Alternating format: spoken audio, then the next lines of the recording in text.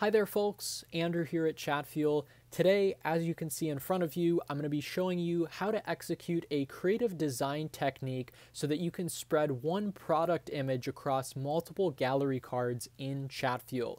It's fairly simple to do, so don't be intimidated, just sit back, relax, and brainstorm about how you can use this same technique in your bot. So let's actually first exit out of Chatfuel here and dive into Photoshop.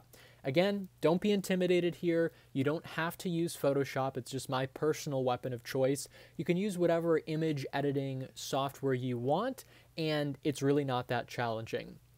First, what we want to do is create the proper dimensions for our image because again, we need to spread it across those three gallery cards or so.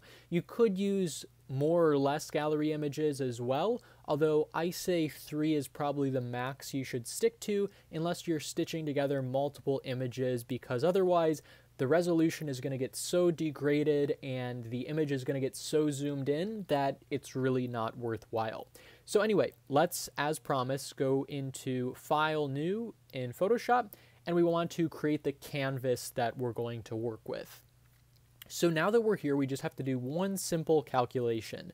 The height here is going to be the same, 1080, 1080 pixels high, but the width obviously is going to change. And so if we're doing this across three gallery cards, we need to multiply this 1920 pixel width by 3.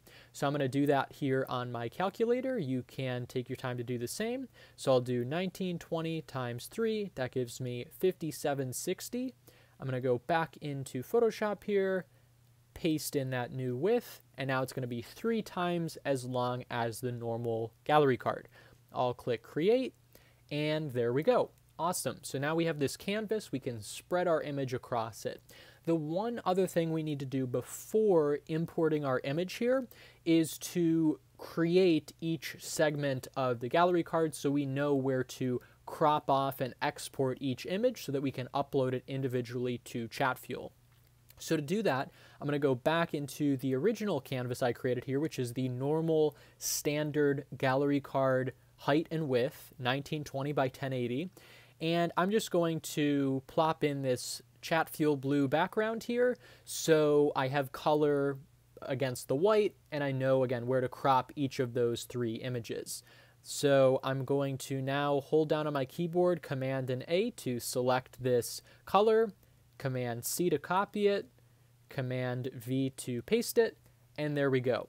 So now we have these three equal segments. If I wanted to, also I could drag the one over here and then paste in the other one here, drag it over, and great. So now I have these three segments to, again, know where to crop this larger image for each of the individual gallery cards we're going to use. Perfect. So we've created our canvas, we've created these divisions here, and now let's import our image. I already have it saved to my desktop here, so I'm going to go to File, Place here in Photoshop, and I'll import the whole image right here, which is a Lamborghini, my favorite sports car. Now I'm going to simply scale this image up and you can see, as I mentioned, you want to really use a high quality image to begin with because when you're scaling it up this much, three times its normal height and width, you're going to degrade the quality. So you want it to be a high quality image to begin with. I recommend anything around 3000 pixels or so. A 4K image is great. Again, the larger that you have this image, the more degraded it's going to get. And also, it goes without saying that this works best with a landscape rather than a portrait photo. So this car is a perfect example because it's very thin and narrow and it's horizontally oriented rather than vertically. Great, so now I'm going to place this image down here. I'm going to zoom in by clicking Command and plus on my keyboard just to get a better view. And I will shift this up just a little bit it's not cut off the top. That looks great. So I'm going to zoom out a little bit and perfect. If we toggle the visibility here, we can kind of get an idea for how it's going to be divided up. We get this tail end in the first gallery, the midsection in the second, and then the front end in the last one. Great. So now, as promised, we just need to determine where to cut each of these images and then export it so we can upload it to Chatfuel. So to do that, I'm going to select the crop tool over here. And then I have the snapping and sort of magnetic nature of the crop tool enabled. So it'll give me a hint for where to crop off these images based on the background layers that we've created. So first I'm going to drag it all the way over here to get a rough idea. You can see it snaps right here and great. So I'm going to crop that, go to save this. I'll call it one.jpg. I recommend exporting in JPEG quality.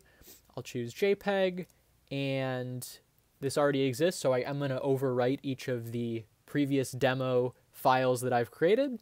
I'll replace, and then I'm going to max out the quality here, although you can reduce it to optimize how quickly those files will load. And great. For this next part, as I do the remaining two of these, I'm just going to fast forward it because it is the same process, so I'll see you on the other side. Okay, and we are done. The one question you might have been asking is, well, what happened? How did you go back when you crop this image and then you return to the full image again?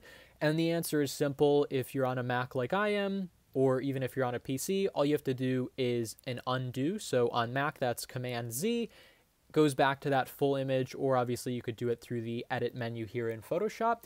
And it's really simple. So great, now we have all our three exported images, each section of the larger image, and now we can head over back into Chatfuel to upload those and assemble them. I'm going to create a new block here just to show you how I did this since I had the example there from the start. And so we'll call this image, let's say. We'll choose the gallery card option, upload the image. We'll choose the first one here. We'll choose horizontal. You can also do this with square gallery cards. The dimensions will just be different. I'll upload that first one, and again, speed through the process of uploading the remaining two. And voila, there we go. It's pretty simple to set this up. Obviously, we can then emphasize this image with three different features, let's say. So we could write in, you know, feature one here of the vehicle, feature two and three. Include some subtext. If you want, include a button with a call to action that leads to your Shopify store, for example, whatever the case might be. But I thought this would just be a fun, creative example of what you can do with Chatfuel to really push the envelope with what's possible. Obviously, most people just upload and think of galleries individually, but why not combine them and create some sort of cohesive image that will really leave a lasting impact in your subscribers? So that is essentially this tutorial. If you have any questions, feel free to leave them down below. Also down below in the comments, if you don't have any questions, tell me how you plan on using this for your bot, whether it's for e-commerce or any sort of use case. I would really like to know. Thanks for watching so much. Happy botting, and we'll see you in the next video.